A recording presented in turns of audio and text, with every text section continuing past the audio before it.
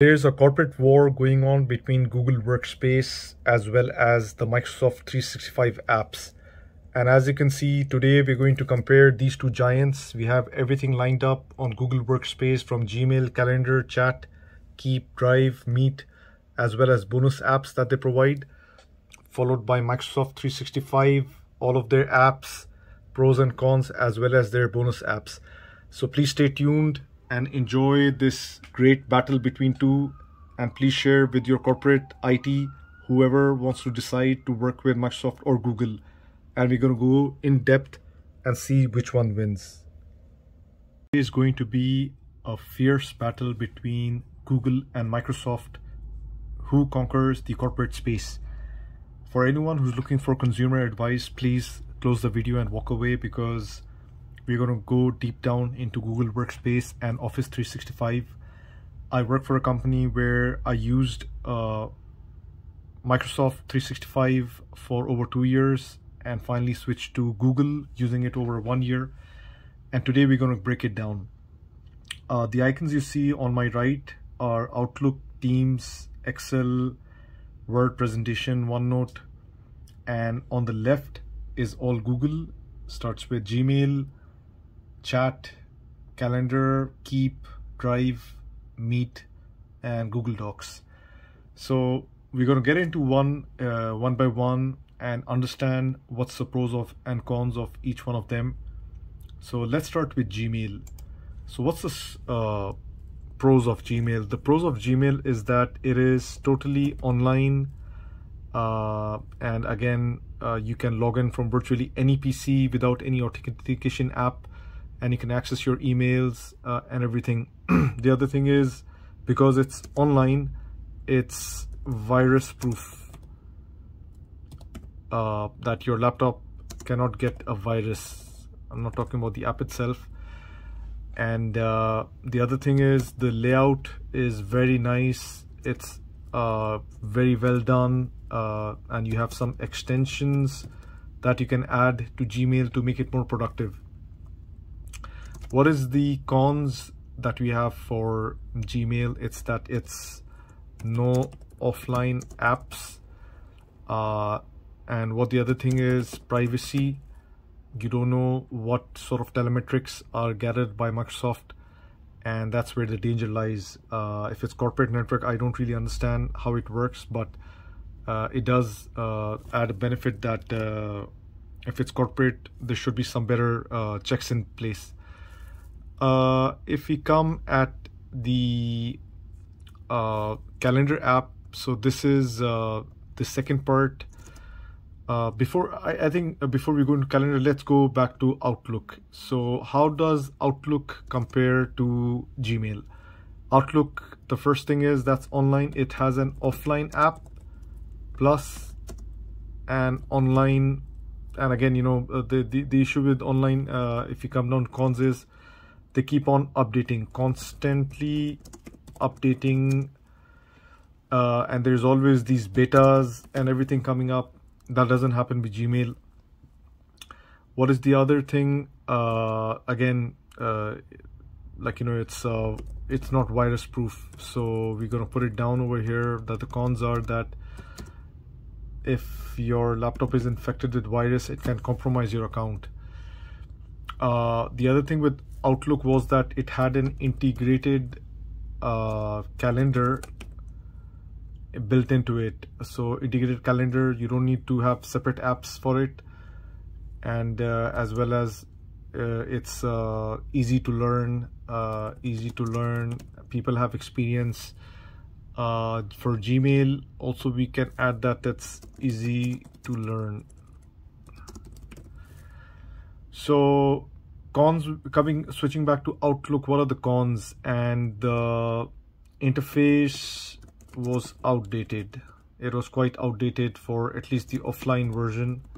The online keeps on getting updated.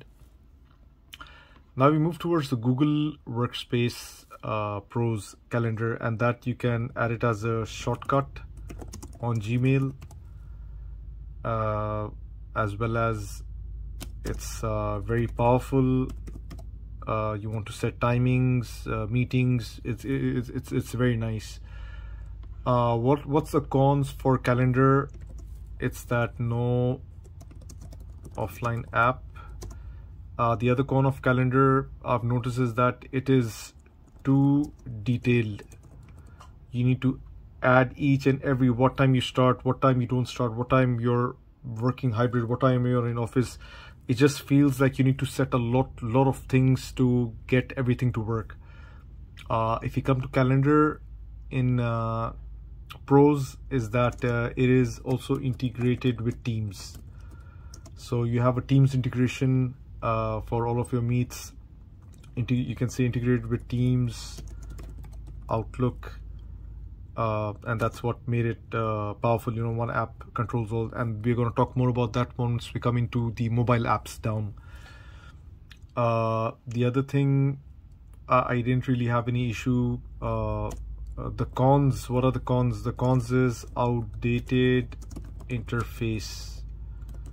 Interface so there's something to be moved on and again uh, the pros can be it's simple it's simple. It doesn't need extra details timings. It, you just simply see if someone's available or not available.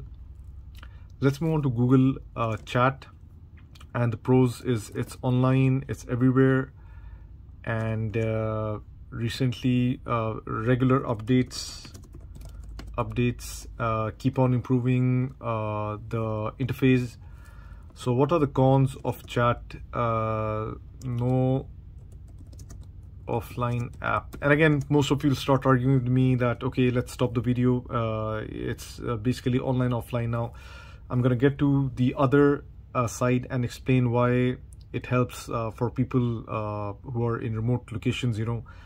They don't have network so they rely on offline data screenshots something uh, in their hand. And uh, whether it be oil rigs some government uh, places areas so it's very very important to have those offline apps. Chat to be honest i didn't find anything bad with it so now uh, it's pretty good uh, interface. So i'll just add up that interface is very nice. Interface is very nice. It has space uh, it has spaces it has uh, group chats so it's all good. Uh, when we come to teams over here is a battle of gladiator versus gladiator. This is a great app. It works both offline and online uh, that's great.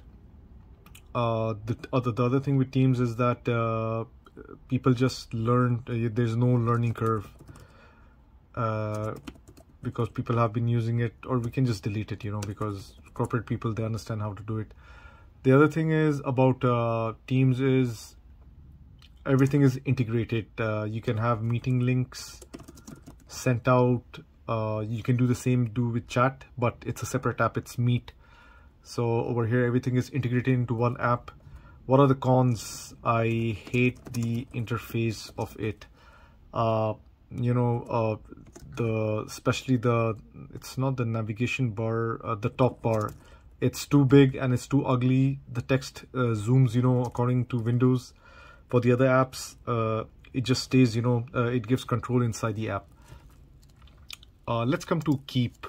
What is a pros pros is it's simple and you can add labels for any classification. Everything is online. Uh, the cons are you can't do like pages or or sheets or inking. I'm not sure about inking because again it's a corporate laptop. But uh, OneNote, one of the most powerful things is that it has uh, great apps all around. Uh, and again, we'll come down and talk about that. So what's it? It's online and offline. Uh, it interface is very nice, uh, but the cons is huge learning curve uh, we can come up and add inking to the pros uh, let's move to drive and over here again you get unlimited storage uh, you have offline and online so that's one of the best things about drive that it has an offline app but subject to your admin the cons are the offline offline app dependent on IT. So every company doesn't have that feature. Uh, the other cons is that uh, it's a lot of drag and drop uh, because you don't have an offline app so it doesn't work always. So OneDrive again it's unlimited for corporates. The cons is that uh, there are multiple apps uh, I can say there's at least two apps apps currently. And uh, the thing is it acts like an actual physical drive. So that's what makes it so powerful you know if you have that offline mode uh, it, it, it just uh, makes things very easy. Uh, one thing that I didn't talk about is sharing. So sharing I will add for both. Uh, you can just share cross uh, users. And these both apps are very very powerful. Uh, OneDrive again it does have a lot more uh, to do in uh, in terms of SharePoint. You can do a lot of links. SharePoint I'll just put a dot uh, for Drive. Uh, again as my company is still transitioning so I'm not really sure on what exactly it is. Maybe a future video to talk about it. What is the cons of OneDrive? Uh yeah i don't see any uh coming to meet and uh, it's simple to use. You have all your meetings scheduled shown on on your on your home screen. So we can say home screen. Uh, what are the cons? Cons are that uh, it's a separate app unlike teams uh, even though their mobile apps are all in one however their uh, workspace is different apps. Uh, some can argue yeah they have a tab you know where it shows google chat but again it's missing out a lot of the other apps like uh, drive uh, keep and other things you know so it's not that simple. We can't just rely on three uh, three apps you know uh, I think it's Gmail, chat, and Meet. Uh, again, I'm not really sure. Uh, so we're going to come back to Teams. So the rival of uh, Meet is Teams, and again, as we mentioned above, that it's uh, all in all one app that uh, is very powerful. for apps, Android and Apple, it has an excellent support, excellent apps, and the same can be said about the Microsoft they have excellent support other than the Windows 10 mobile. So I, I'm a user of the Windows 10 mobile and we had Teams, Outlook. Uh, I thought one way Microsoft would have kept was that uh, to keep their Microsoft services running on their phones, but it's shut down. Uh, Teams, nothing works, but as long as Apple and Android, excellent apps. Uh, again, for a deep dive into apps, please comment below and we can check out their apps. Uh, in terms of laptop, Ubuntu, again, everything works online. Everything's good. Uh, online Mac, again, I don't have Mac, so I don't know. Windows, uh, Windows also, everything is online. If we come to laptop apps on Ubuntu, everything works online. For Mac OS, again, it's a question mark. I, I, I didn't use it. Uh, for Windows, everything works online as long uh, as well as offline.